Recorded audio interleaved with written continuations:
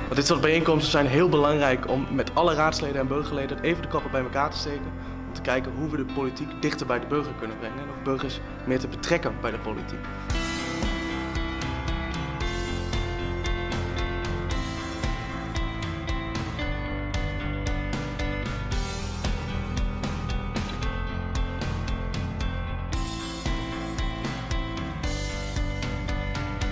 Creatiespel willen we bereiken dat uh, zowel initiatiefnemers als ambtenaren en raadsleden meer begrip krijgen over elkaars rollen, belangen en posities. Hierdoor proberen we inclusieve besluitvorming te bereiken.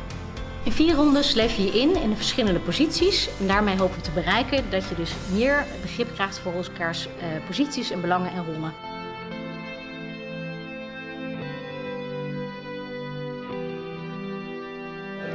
Ja, het spel helpt echt enorm om, uh, om tot de kern van een probleem te komen. Door het spelen van het spel zijn wij ons ervan bewust geworden dat je heel snel in de uitvoering zit en in het proces. En we hebben elkaar constant moeten corrigeren om in die kernwaarden te blijven. Dus uh, uiteindelijk is dat gelukt.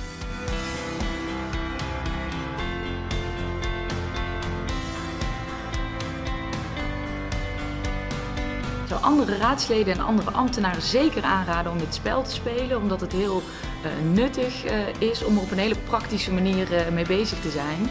Je komt dan echte valkuilen tegen en je ziet ook waar echte uitdagingen liggen van de omgevingswet.